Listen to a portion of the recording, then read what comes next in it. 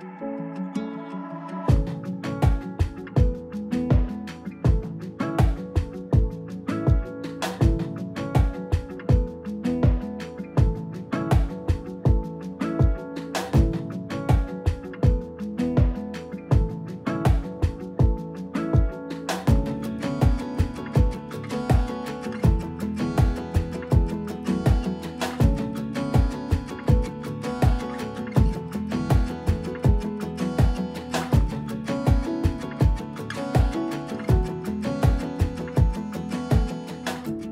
We've been talking about having a voice, um, having representation of Aboriginal and Torres Strait Islander peoples to parliaments and governments for a very, very long time.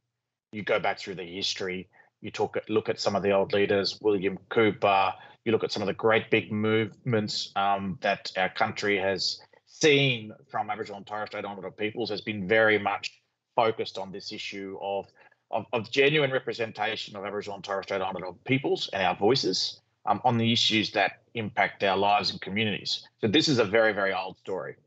But we saw more recently in 2017 the release of the Uluru Statement from the Heart, the invitation from Aboriginal and Torres Strait Islander peoples to the broader Australian community saying, um, yes, we want to be recognised in the Australian Constitution, and we want that recognition to be meaningful, we want it to be practical, we want it to be through a voice. Yeah, it was really powerful from my community when we saw the Uluru Statement come out, I was still young. um, so it was, it was really powerful to see some of those signatures and members of our own community who participated in Uluru who talked about what it meant for us and our families. Um, and coming back and hearing directly from them and, and hearing about how this isn't just about, you know, this is such a big movement, a big piece, a big, an ask um, that's quite simple, but it has huge effect for us at a local level, uh, you know, but it's a massive opportunity for us to create some significant change and impact our families and our communities.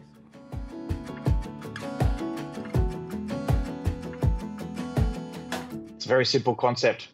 It's about getting the advice of Aboriginal and Torres Strait Islander peoples front and centre um, with parliaments and governments. And the reason why we need that advice there is because our people on the ground understand how these issues such as health, education, housing, and jobs, how it actually works on the ground. They understand the challenges. So the voice is about bringing that expertise, bringing that wisdom to the table to advise parliaments and governments about making sure that we're getting these issues right.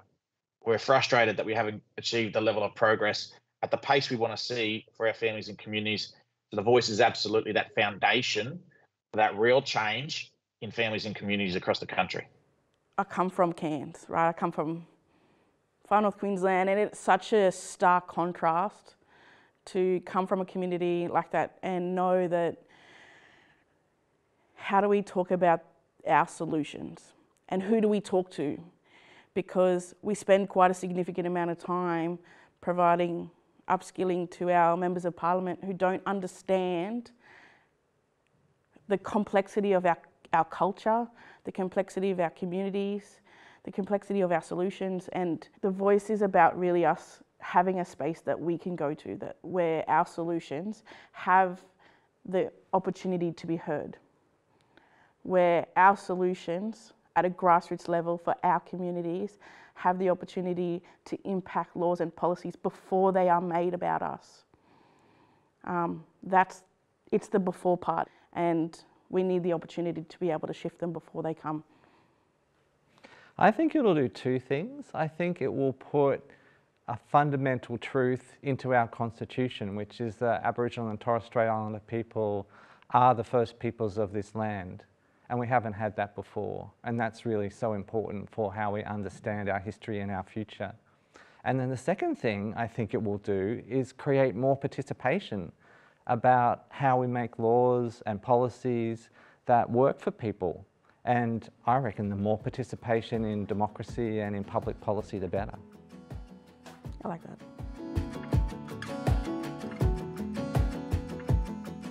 Oxfam has a really proud history of working alongside of Aboriginal and Torres Strait Islander people. So going back to our predecessor organisation, Community Aid Abroad, We've been working alongside of Aboriginal and Torres Strait Islander people for about 50 years.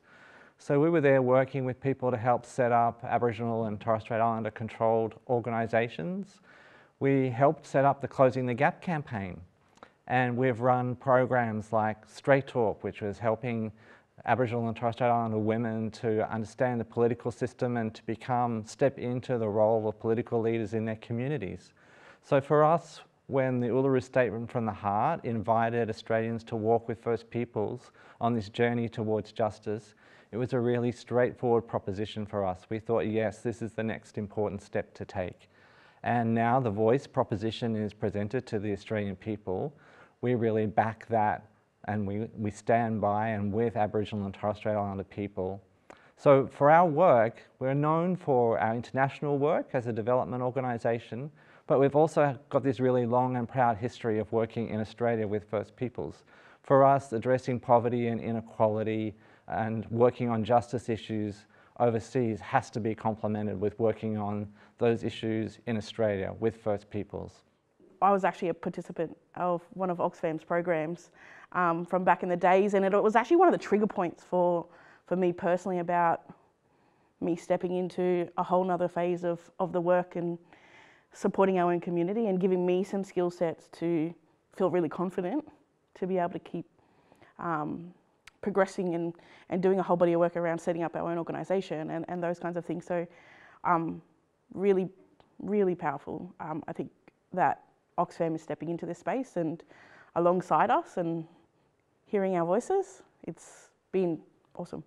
We're talking about some of the some of the largest not-for-profit organisations, all the way down through to small um, faith-based, uh, multicultural-based sporting bodies um, from across the country that are getting behind and saying very strongly um, that they are supporting the yes vote in the referendum later on this year. So um, the support from Oxfam is fantastic, and it and it runs alongside a growing movement of organisations and people from our communities across the country getting in behind yes.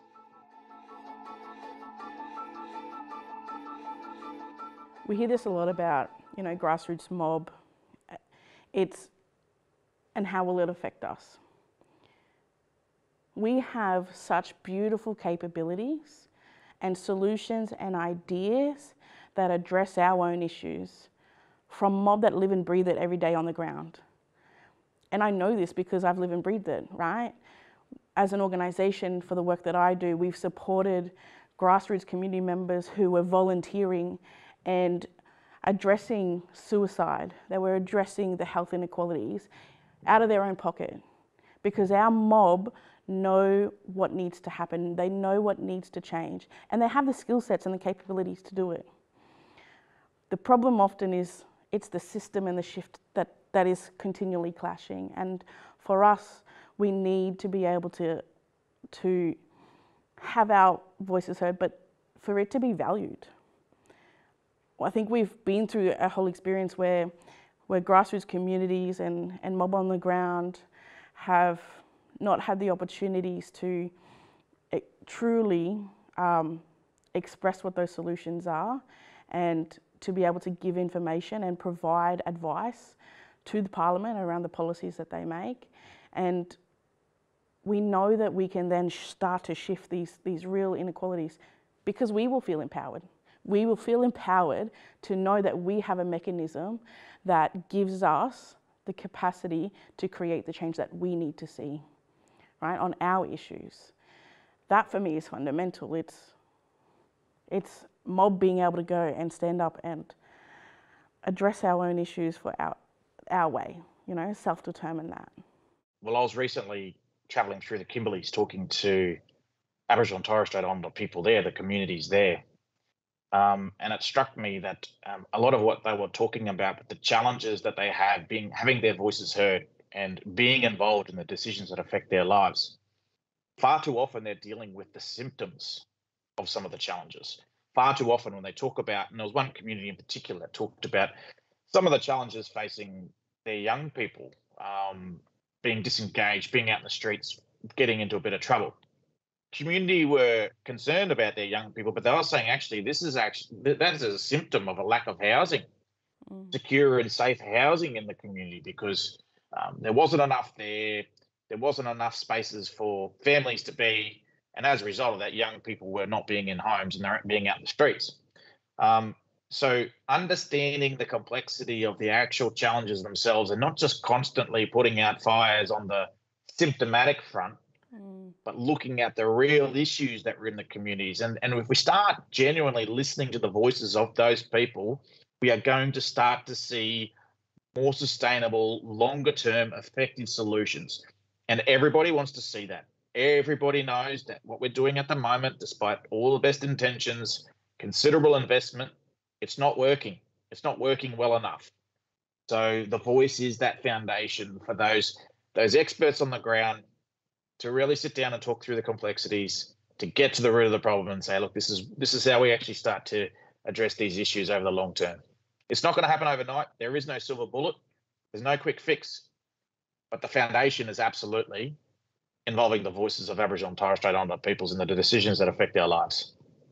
I don't know as a non-Indigenous person. So my job here is to listen and, and to learn from what you're saying and paying attention. And that's, that's the point of the voice, I guess, is for non-Indigenous people and for government people in decision-making roles to listen and to hear what people in grassroots communities are saying they need.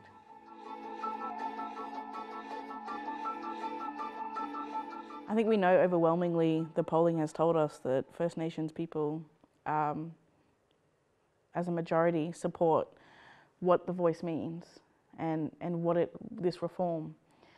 But we know that even more so when we're on the ground and we're having the conversations. Um, I go out in my community and we have really uh, um, awesome conversations with First Nations mob about um, what it means, um, what role we will play as First Nations people and how we want that to look. Um, and I think that's really powerful is that the majority of people that even I'm speaking to on a day-to-day basis is um, supportive of, of this change. So over the last six and a half years since the Uluru Statement from the Heart was created, we've known that there's about 80% or even a little bit more than 80% of Aboriginal and Torres Strait Islander peoples that would get in behind and vote yes for the referendum. So there is very, very strong support out there. That said, we've also got to acknowledge that there are different views on this issue, and there are some people that that do take a different view. And I'll, I want everybody to know that that's okay. It's actually okay that amongst ourselves, amongst Aboriginal and Torres Strait Islander peoples, um, we do have different views, and that's okay. And that's actually a sign of a healthy community. We, you'd expect that on an issue this big. We're never going to get 100% on any singular issue. But I'd say to many of our supporters and many of our allies out there, understand that in supporting a yes vote in the referendum, you are standing alongside thousands of Aboriginal and Torres Strait Islander people that really want to see a successful referendum, that want to see constitutional recognition through the voice to Parliament.